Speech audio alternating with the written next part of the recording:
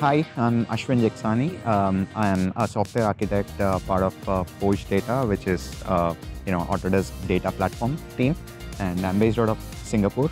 As a software architect, uh, my main responsibility is to deliver scalable, reliable, highly resilient, and trusted platforms.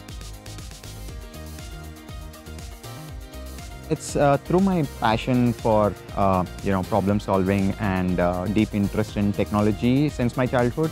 I've always wanted to be in the technology, and uh, like software architecture is you know one of the uh, uh, ways uh, which you can stay absolutely close to the technology. The uh, real world problems that you get to solve uh, and uh, you know help make an impact to diverse industries is what inspired me to pursue this career.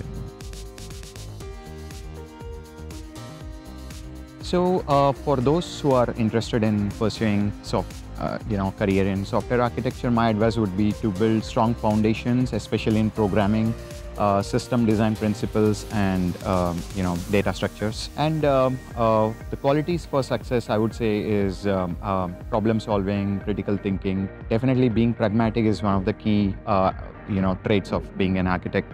Um, and uh, for sure you should like you know enjoy uh, continuous learning autodesk culture promotes uh, a lot of uh, innovation collaboration and sustainability.